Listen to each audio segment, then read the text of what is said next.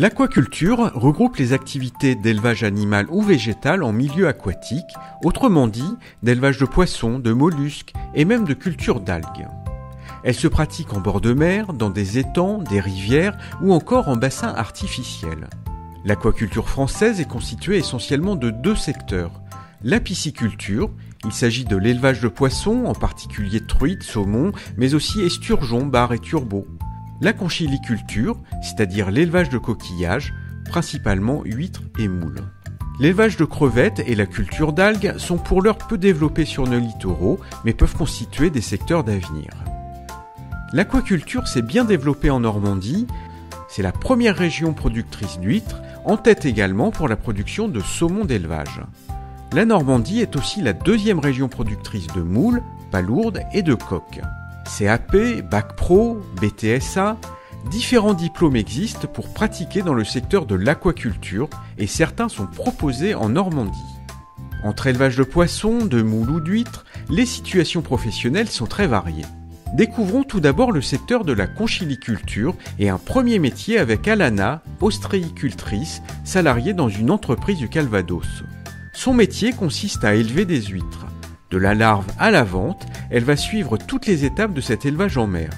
Les naissins, les bébés des huîtres, sont placés dans des poches en maille qui vont rejoindre le parc à huîtres pendant la marée basse.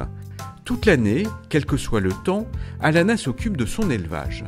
Elle retourne régulièrement les poches pour que les huîtres ne s'écrasent pas les unes sur les autres. Elle les ramène dans l'entrepôt pour les placer au fur et à mesure qu'elles grossissent dans de nouvelles poches. Au bout de trois ans, les huîtres ont atteint leur taille commercialisable. Elle les lave donc et les classe par taille. Après purification dans de grands bassins, elles sont mises en bourriche et prêtes pour rejoindre les tables.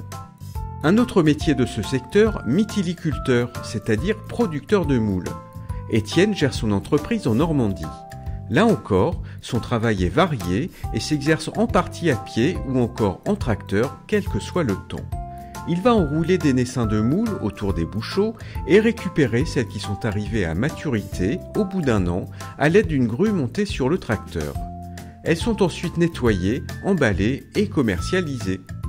Découvrons maintenant le secteur de la pisciculture avec Kylian, employé dans un élevage de truites installé en bord de rivière dans l'Eure.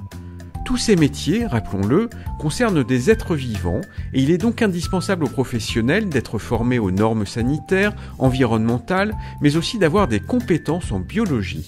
Kylian suit la qualité de l'eau, les types de nourriture adaptés, il vérifie la présence de maladies ou de parasites.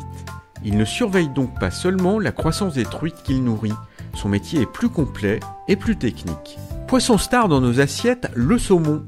Kylian avait récemment travaillé dans un des élevages de saumon de Normandie. Entre les premiers mois des poissons passés dans des bassins d'eau douce et leur croissance ensuite dans des cages en mer, son travail était là encore bien différent et varié. Tous ces professionnels ont un point commun, ils exercent un métier passion consistant à gérer l'élevage d'êtres vivants dont il faut prendre soin à chaque étape.